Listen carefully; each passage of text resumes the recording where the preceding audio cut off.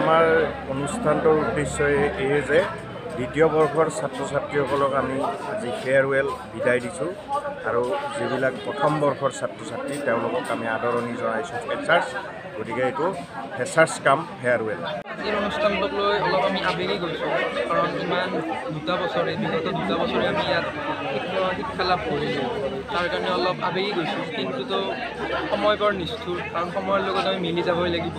সময়ৰ যি পথ সেই পথততো আমি উঠি যাব লাগিবই সেইটো আৰু সময়ক আমি ধৰি বান্ধি ৰাখিব নোৱাৰোঁ। সেইকাৰণে সময়ৰ পথত আমি খোজ মিলাই একেদৰে আমি যাব লাগিব। উচ্চ শিক্ষাৰ বাবে আৰু নতুন এখন কলেজ হওক মহাবিদ্যালয় হওক কিবাখনত যাব যাব লাগিব। তাত উচ্চ শিক্ষা লাভ কৰি যাতে যাতে আমি আমাৰ এইখন কলেজৰো যাতে নাম উজ্বলাব পাৰোঁ নিজৰ লগতে সেইটোৱে আশা কৰিম।